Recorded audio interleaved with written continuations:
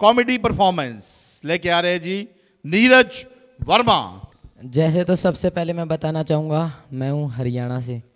तो हमारे हरियाणा में जो एक बेटा होता है, वो अपने पिता की हंड्रेड परसेंट सारी बातें मानता है।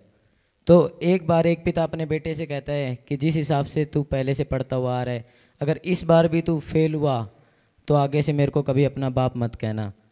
तो इसी के चलते अगले दिन बेटा घर पे आता है और बाप पूछता है, बेटा रिज़ल्ट क्या रहा? तो बेटा कहता है हिम्मत ही पूछो राम प्रसाद क्या बताऊँ तुमको?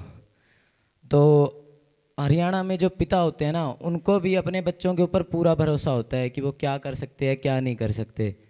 तो एक बार एक बाप अपने बेटे को कूट रहा था।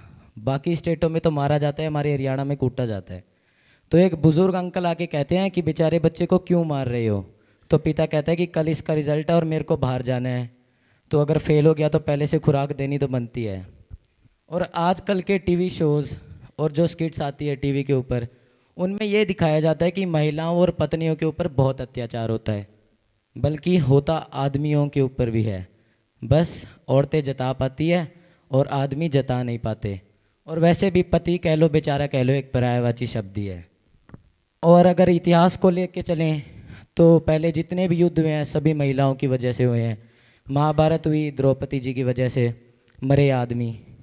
कोई भी एक ऐसा युद्ध नहीं है जो आदमियों की वजह से हुआ हो और औरतें जाके लड़ी हो। रामायण हुई तो सीता माता जी की वजह से मरे आदमी। औरतें हमेशा लड़ा सकती है, कभी लड़ नहीं सकती। तो इसी के साथ अब अगर हम चलती हुई पीढ़ी को देखते हैं तो आगे की तरफ़ फ़ोन आ चुके हैं। अगर फ़ोन को, फ़ोन की जगह बाप कहा जाता तो आजकल की बातें कैसी होती? कि यार पापा को कितना चार्ज कर दिया दोनों साइड से गर्म हो गए। इनको कोई जल्दी ठंडा करो। अरे पापा को जल्दी से चार्जिंग पे लगाओ पापा का तो एक ही डंडा रह गया। थैंक यू सर इसमें के के एच डी इसमें के के एच डी इसमें के के एच डी केकेएचडी है क्या? अरे आपको नहीं पता किसमें कितना है दम? दुनिया के सामने अपना टैलेंट लाने के लिए सबसे अच्छा टैलेंट जो है इनका नंबर क्या? Nine zero four one seven double three seven double three.